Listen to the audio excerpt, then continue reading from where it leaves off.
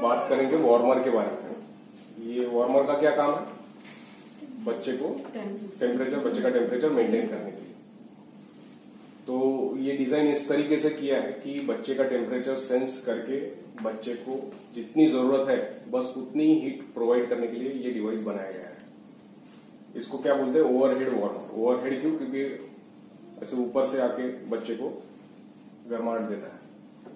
तो ये अगर हम इसमें देखेंगे तो ये हीटिंग बॉडी है, इसके ऊपर अगर देखेंगे तो इसके नीचे हीटर लगा हुआ है है ना? यहाँ पे कॉइल है, जो इलेक्ट्रिसिटी से गर्म होता है और गर्म करके बच्चे के जो आजू बाजू का वातावरण है उसको गर्म करता है।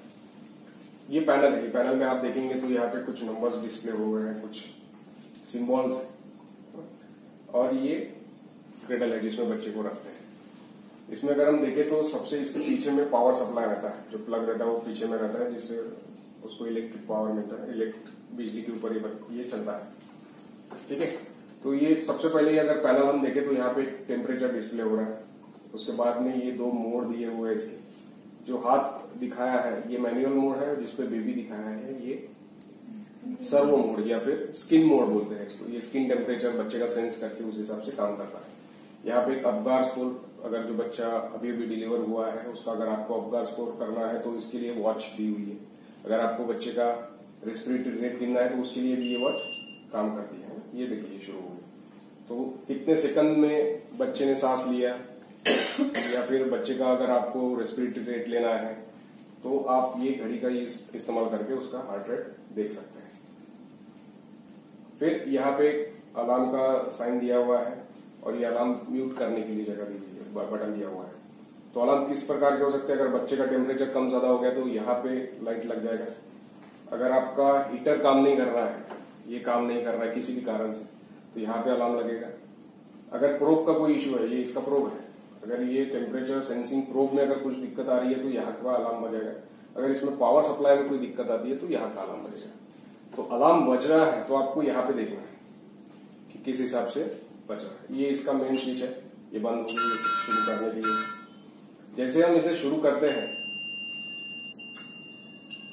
तो सबसे पहले मैनुअल मोड पे जाता है। अब ये मैनुअल मोड का क्या काम है? मैनुअल मोड इसको प्री वॉर्म करने के लिए है। जब यहाँ पे बच्चा नहीं है, मैं वेट कर रहा हूँ कि जैसे ही बच्चा डिलीवर होकर मेरे पास आएगा तो मैं उसको इसमें लेके जो भी उसको केयर देना है वो दूँगा। तो उस टाइम पे ये वार्मर ऑन हो जाएगा। ये मैनुअल मोड पे रहेगा। मैनुअल मोड मतलब इसको आप कम ज़्यादा कर सकते हैं अपने इससे और इस टेम्परेचर यहाँ के टेम्परेचर को मेंटेन कर सकते हैं। जब बच्चा यहाँ पे है तब आपको ये मोड यूज़ नहीं करना है। ठीक है? क्यों?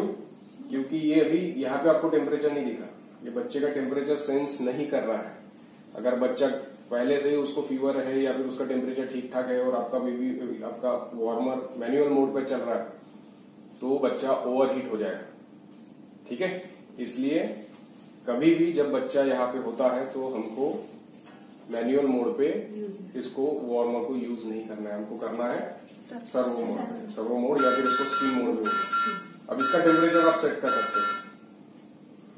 ठीक है? अब इसका टेम्परेचर आप सेट कर सकते हो। जैसे कि यहाँ पे सेट किया हुआ है थर्टी सिक्स पॉइंट फाइव इसको आप कम कर सकते हो बढ़ा सकते हो राइट तो ये हर यूनिट का ये टेम्परेचर वो उस हिसाब से सेट करते हैं।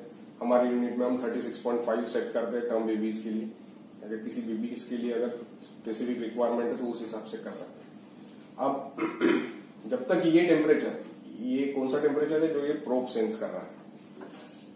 हम देखते हैं कि यहाँ से ये प्रोब निकल के इस तरीके से आया हुआ है। तो ये प्रोब को हम बेबी के स्किन में स्टिक करते हैं। कहाँ पे स्टिक करते हैं इसको? अपर पार्ट ऑफ़ एब्डोमेन पे रखते हैं, है ना? थाइस पे क्यों नहीं लगाना? है बहुत बार बच्चा अगर इसमें कोल्ड कोल्ड और डिस्कम्फर्ट या कोल्ड शॉक में है तो उसके एक्सट्रीमिटीज का टेम्परेचर कम रह सकता है, लेकिन एब्डोमेन गर्म रहेगा अगर आपने इसको थाई में लगा दिया और समझो वो सेंस नहीं कर पा रहा है तो ओवर हीट हो जाएगा, है ना? और बहुत बार बच्चे को सुपरफिशियल बर्न्स भी हो सकते हैं। इसलिए इसको हमेशा कोर टेम्परेचर देखना है हमको। इसलिए हमको इसको एब्डोमेन पे करना है ना? तो यहाँ से बच्चा, बच्चे का जो टेम्परेचर रहेगा, वो सेंस करते हुए यहाँ तक जाएगा। यहाँ पे वो डिस्प्ले होगा और इसके मुताबिक ये हीटर काम करेगा। अगर बच्चे का टेम्परेचर कम है तो ये टेम्परेचर ये यहाँ का हीटर मैक्सिमम ऑन हो जाएगा। एक छोटा सा कंप्यूटर है जो कैलकुलेट करता है बच्चे का क्या टेम्परेचर है उस हिसाब से ये हीटर को रेगुलेट करता है। अगर समझो बहुत बच्चा बहुत ज़्यादा हीट हो गया तो ये टेम्परेचर अपने आप ये हीटर पूरा बंद हो जाएगा। जैसे अभी अभी यहाँ पे कितना डिस्प्ले हो रहा है? 29.4 अगर मैं इसको थोड़ा सा पास में सेंस करता हूँ ये बंद हो गया।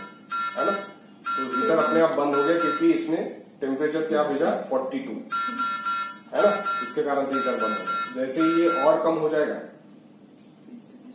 फिर से उसका हीटर थोड़ा थोड़ा शुरू हो जाएगा।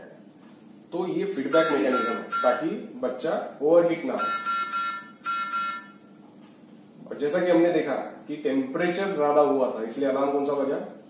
टेम्परेचर वाला। ठीक है? अगर किसी कारण से ये प्रोब निकल जाता है तो अलार्म कौन सा बजेगा? प्रोब वाला ठीक है? किसी कारण से पावर सप्लाई फेलियर हो जाता है तो यहाँ पे आएगा। किसी कारण से अगर ये हीटर काम नहीं कर रहा है तो ये ये अलार्म बजेगा तो अलार्म म्यूट करने के पहले आपको देखना है कि किस कारण से बजा ठीक है? तो ये एक रेंज होती है। समझो अगर ये 36.5 है तो जब तक ये 37 नहीं होगा, ये अलार्म नहीं देगा। ठीक है?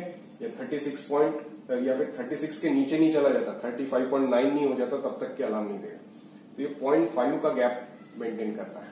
ये अभी अलार्म दे रहा है 27.7 पे, क्योंकि हमने उसे म्यूट करके रखा इसलिए अलार्म सुनाई नहीं देगा ठीक? तो अभी बहुत बार गलती क्या होती है कि प्रोब लगाया होता है बेबी के एब्डोमेन पे, और किसी कारण से वो निकल के चला जाता है बाहर। तो इसमें क्या तकलीफ़ है? हाँ, तो ये इन्वायरमेंट का टेम्परेचर सेंस करेगा। हमारे इन्वायरमेंट का टेम्परेचर हम कितना मेंटेन कर रहे हैं यहाँ पे? ट्वेंटी फाइव अगर बाहर का ट्वेंटी फाइव है और हमने सेट किया थर्टी सिक्स पॉइंट फाइव ये हीटर हमेशा फुल रहेगा। बेबी का टेम्परेचर सेंस कर रहा है क्या? नहीं वो पूरा सेंस कर रहा है एटमोस्फियर का। और बेबी ओवर हीट हो जाएगा बहुत बार बर्न होने के भी चांसेस होते हैं। इसलिए इसे हमेशा है ना? जब भी आप बच्चे को देख रहे हैं, आपके चेकलिस्ट में होना चाहिए कि टेम्परेचर प्रोब बराबर लगा है या नहीं। ठीक है? इसके अलावा अगर इसे हम देखें तो इसमें एक एग्जामिनेशन लैम्प भी इसको अगर ऑन करके कुछ प्रोसीजर करनी है कैनोला लगाना है तो तो ये ये इसकी जो इंटेंसिटी है लाइट की बेबी टॉलरेट कर सके जो उसके गाइडलाइंस है, उस हिसाब से बनाया गया है। कि बहुत ज़्यादा शार्प लाइट आपको कभी नहीं मिलेगा। तो हो गया इसके लिए, इसके अलावा इस पर कुछ स्टैंड है जिसपे आप मॉनिटर लगा सकते हैं, इसके ऊपर आप इन्फ्यूजन पंप लगा सकते हैं। ठीक? ये ट्रॉली के नीचे आपको एक्सरे डालने के लिए शीट मिल जाएगी।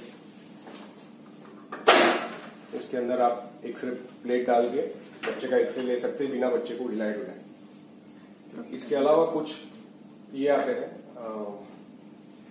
कुछ ऐसे मशीनें आती है जिसपे आप बच्चे का वज़न भी कर सकते हैं ठीक है कोई क्वेश्चन है? कभी कभी बच्चे को अगर फीडिंग देने के बाद में आपको प्रॉपर रखना है तो आप उसको टेल्ट भी कर सकते हैं, उसको सीधा भी कर सकते हैं। तो ये सुविधा भी इसमें दी गई बंद